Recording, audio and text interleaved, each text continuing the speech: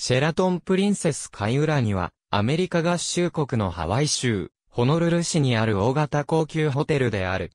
オアフ島の中心地であるホノルルの、ハワイ王朝最後のリリウオからに女王の命、ビクトリア海浦に王女が幼少期を過ごした領地の跡地に建設されたことから、ホテル名が命名された。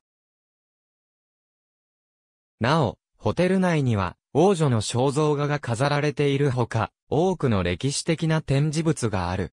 1955年の開業当時に建設された、プリンセスウィングと、カイウラニウィング、アイナハウタワーウィングの3つのタワーを持ち、合計で1154部屋とハワイ州内でも3番目の規模を持つ。なお2010年には、アイナハウタワーウィング以外の2つのタワーを建て替える計画があることが発表された。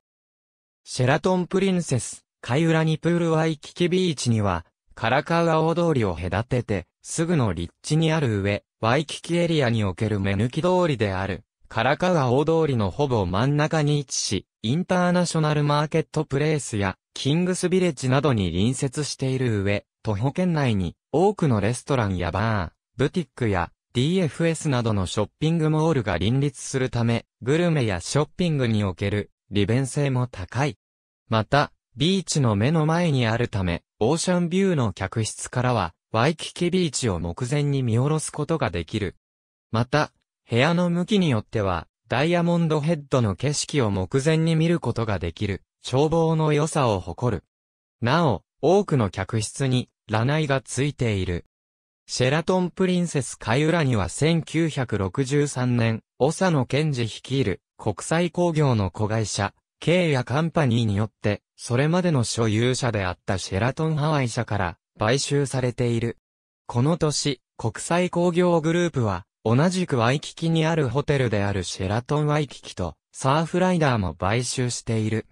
これらの経緯もあって、開業以来日本人観光客の滞在も多く、日本人向けのサービスが充実している。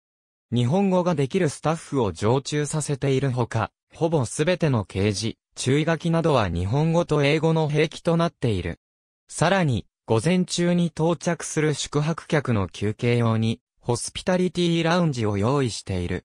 なお、宿泊客は、同系列ホテルである、ロイヤルハワイアンや、モアナサーフライダーウェスティンリゾートスパ、シェラトンワイキキの施設を、ルームチャージ扱いで利用することができる。ホノルル国際空港からは、週間高速道路 H-1 号線の exit 23経由で30分程度でアクセスが可能である。なお、ホテルのシャトルバスやハイヤーも用意されている。また、公営バスであるザバスやワイキキトロリーの停車場もホテルの徒歩圏内にある。リゾート R01 ワイキキオアフ島ダイヤモンド、ビッグ社2010年12月発行改定第11版、P36。ありがとうございます。